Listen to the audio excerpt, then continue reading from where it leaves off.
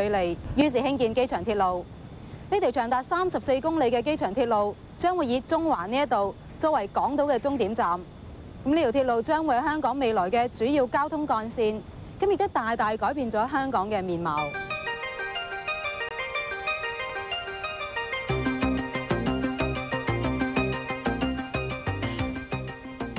香港正係進行緊多項大型基建項目，喺市區嘅周圍，以至新界同離島都可以睇到工程喺度進行緊。呢一啲工程將會大大改善本港嘅對外同對內交通同道路網絡。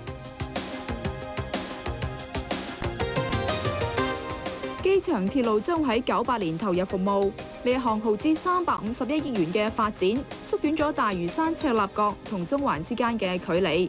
乘搭機場快線全程只係要二十三分鐘，而東涌線呢就會喺麗景站同地鐵嘅荃灣線連接起嚟，由麗景轉乘東涌線到中環，只係要八分鐘嘅時間。呢一啲嘅發展亦都改變咗整個城市嘅面貌。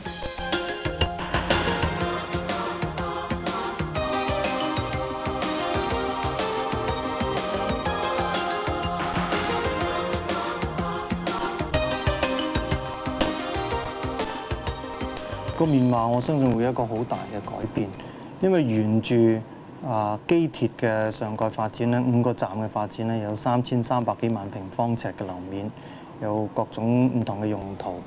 三千幾萬尺嘅樓面有幾大？單係住宅咧就有兩個太古城咁大，寫字樓面積咧就相當於四棟交易廣場，酒店嘅面積咧就等於九間麗晶酒店，仲有六個太古廣場咁大嘅商場。